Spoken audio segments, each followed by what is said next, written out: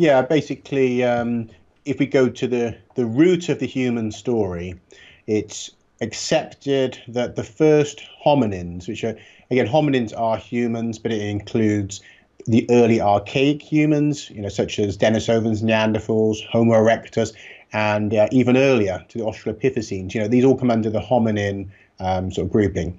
Now that these hominins all emerged in Africa, and then way, way later on, around about around two million years ago, that we have some of them Homo erectus that leave Africa, uh, and that they go on to evolve into Neanderthals and Denisovans.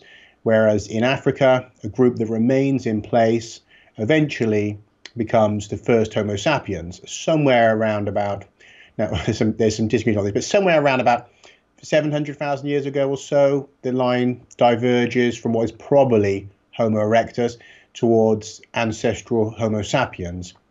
And that much later, again, somewhere around 300,000 years ago, some of these early Homo sapiens begin to flow out of Africa uh, they supposedly uh, unsuccessful, they die off.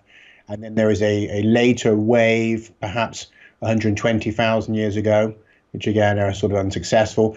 And at last, somewhere around 50 to 70,000 years ago, there's modern, fully modern, by this point, fully modern humans have arisen in Africa and that they now move out into the rest of the world, replacing the archaic hominins that were already there. Now, that's essentially the the greater out of Africa um, theory. Now, within that, there's other, you know, other smaller theories, you might say, sort of sub theories, such as recent out of Africa, which focuses specifically on the sort of modern human story and you know the, how we ended up being throughout Eurasia, America, Australia, etc. You know, so that that's a more specific subtopic. So that's supposed to be that more recent uh, date that you're talking about is right around 55,000 to 60,000 years ago. That's what we're focusing on mm-hmm. here.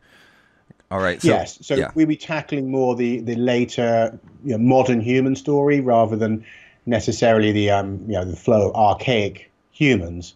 Uh, but I, sh- I should add that I disagree with some of the earlier story as well, in that rather than accepting that Homo sapiens emerged from a line of Homo erectus in Africa, I think it's far more likely that they actually emerged from Homo erectus outside of Africa, that were already out of Africa around two million years ago.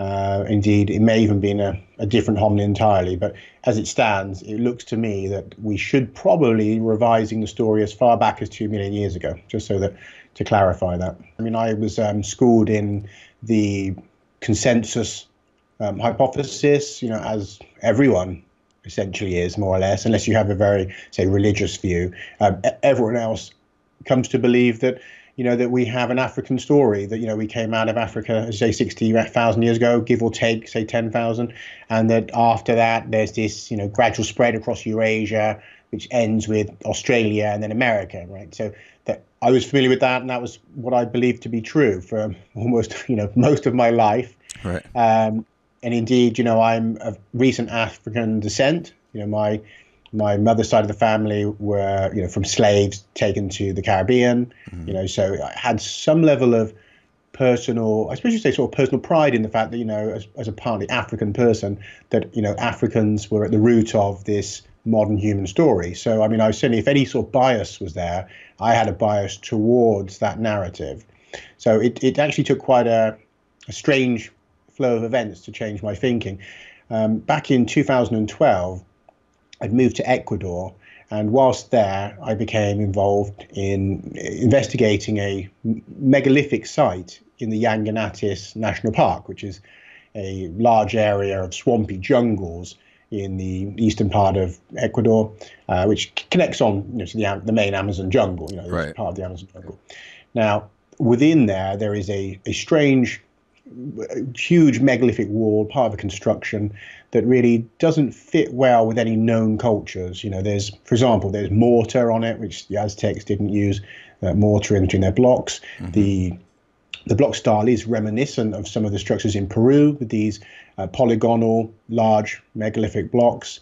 So again, there may be some links, but the, the site itself is in an area that wouldn't have been habitable in, you know, I, I'm guessing in it, could go back, let's say, well beyond 5,000 years, maybe to that 12,000, to when we had severe global changes underway. You know, it may have been, I think, around that time that a lot of this jungle didn't actually exist.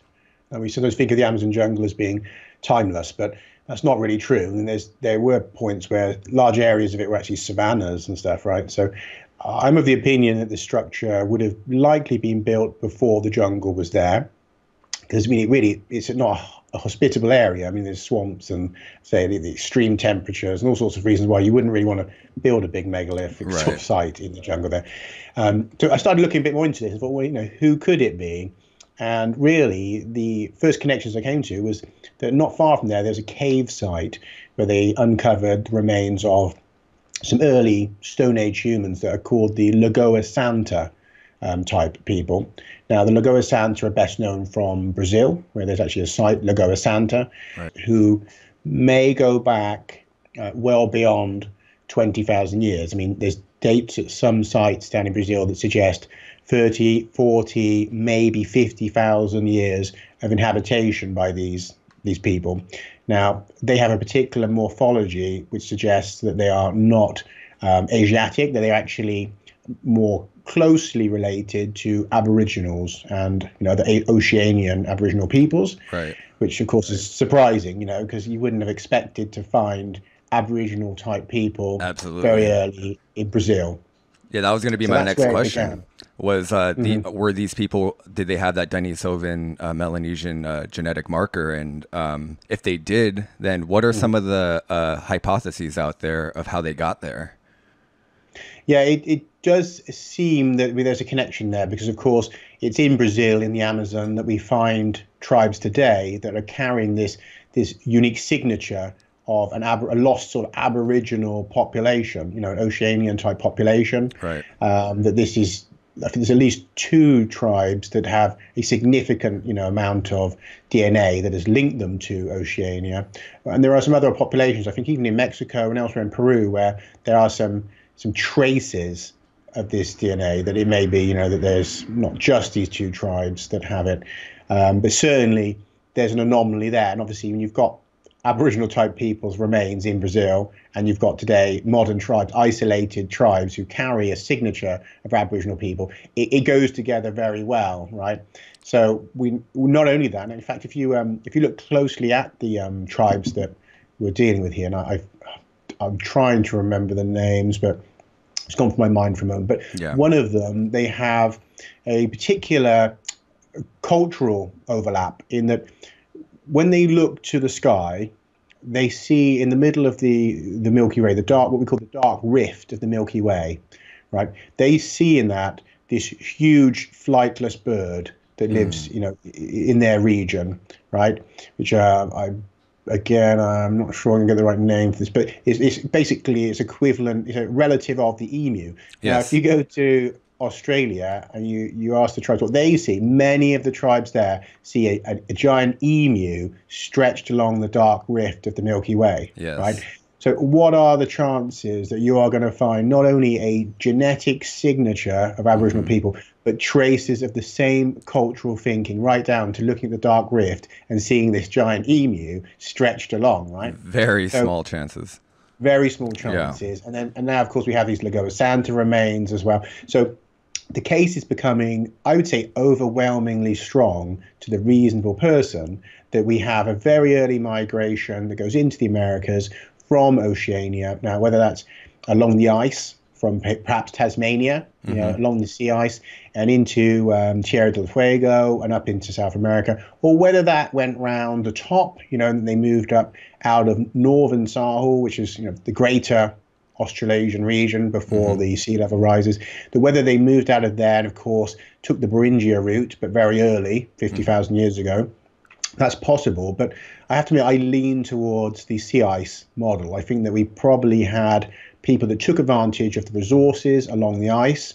And we know even today, of course, there are cultures that specialize in you know the, the resources you find on the ice, marine resources, uh, utilizing you know ice structures. You know that you can live on it. Although to us it sounds like you know horrifically hard life there's there's points when that may have actually been very beneficial, particularly in the ice ages when you know snow and ice was moving into your territory. You may have become very acclimatized, and so it wasn't so hard to flow further south, end up on the ice, and moving along, following you know um, whatever game was there. Now I'm not an expert on the um, the life there. I assume there's you know things like you know, walruses and you know the, obviously fish and whatnot that you can use exploit these resources.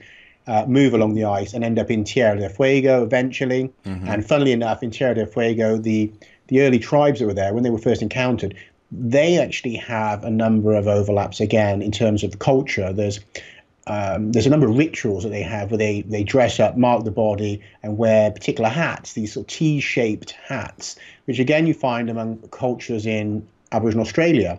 And these are the same T-shaped um, looking structures as you see at uh, Göbekli Tepe, for example. These, these are T-shaped blocks. Right. But you actually have these on their hats. They'd have on the top of their head a huge T-shape. Mm-hmm. Now, again, very strange to find the same hat being used by Aboriginal Australians as people in Tierra del Fuego. On top of that, the language of the people there. They had, it's reported, in fact, by um, Charles Darwin when he stopped in that region, that the people there had a very strange guttural language of, of we said animal noises and, and whistles and stuff, which sounds an awful like a click-based language, right? With the, which has whistles, clicks, other mm-hmm. animal sounds, and you find that also in two other places, Aboriginal Australia and of course in um, sub-equatorial Africa, right? So, uh, but it's very, you know, it's, it's funny to find that you have again these overlaps. So there's a good reason to suspect that we have an entry from the south into the Americas by these people. They then spread, you know, upwards, and so Ecuador would have been very late on in that story. But I suspect that what we had is um, a group of these people moving up into the region, which is uh, basically the sort of the well central Ecuador. There's an area they called, if you um, the name of the nearest town, but um, essentially, yeah. Anyway, there's a small town near to this site right. where you know there's where there's other finds of these of these people. You know, up in the mountains in the area, you've got mm uh, Ban, sorry, Banos de Agua Santa, if people want to look up. Uh, essentially, in that town, you know, there's um, a few museums and there's other, even a couple of the hotels, they have, you know, collections of bones on display, which have been found in cave sites in the town, and, they, and they're labeled as Lagoa Santa type people. So we know the Lagoa Santa type people were in the area. As I say, there was a cave site near to the megalithic structure, which mm-hmm. contained remains from these people. So again, if you follow the dots, you think, well, who are these mysterious builders? there's a very high chance that it was Lagoa Santa. Now, that is what led me into their story and to begin researching, you know, how could Aboriginal people end up being the first colonizers of the Americas, uh, perhaps 50,000 years ago? Mm. And how does that fit with the recent out of Africa story? Because I couldn't see how it did.